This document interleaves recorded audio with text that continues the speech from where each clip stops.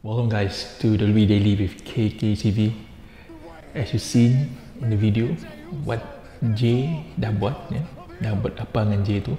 J buat super kick kepada Roman Reigns.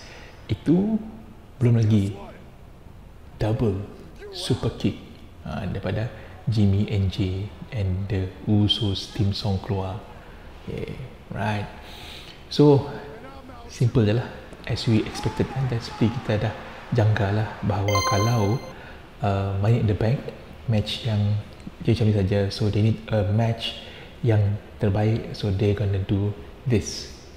Okay ala-ala macam apa? Macam um, how do you say it? Uh, ala-ala macam Civil War lah. Uh, if you watch The Avengers Civil War macam ni lah. Uh, Solo Sokosa Roman Reigns dan juga Paul Heyman versus The Uso so we gonna see lah match. Tapi yang pastinya momentum semakin meningkat meningkat meningkat untuk story the bloodlines walaupun dikatakan bloodlines dah pun berpisah terpecah um, apa lagi? Uh, break up semua tu.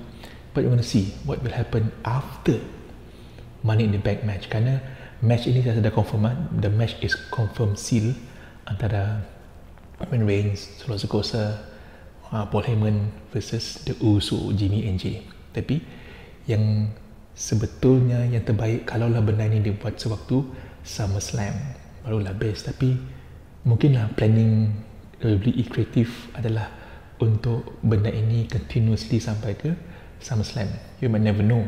Tidak tahu. Mungkin triple threat match untuk Roman Reigns punya title. Antara Jimmy J and also Roman Reigns. Siapa tak tahu? We might never know. Ah, that will be the biggest headline ever lah. But for now Money in the Bank headline yang besar saya rasa the, the bloodlines battle together, battle it out together.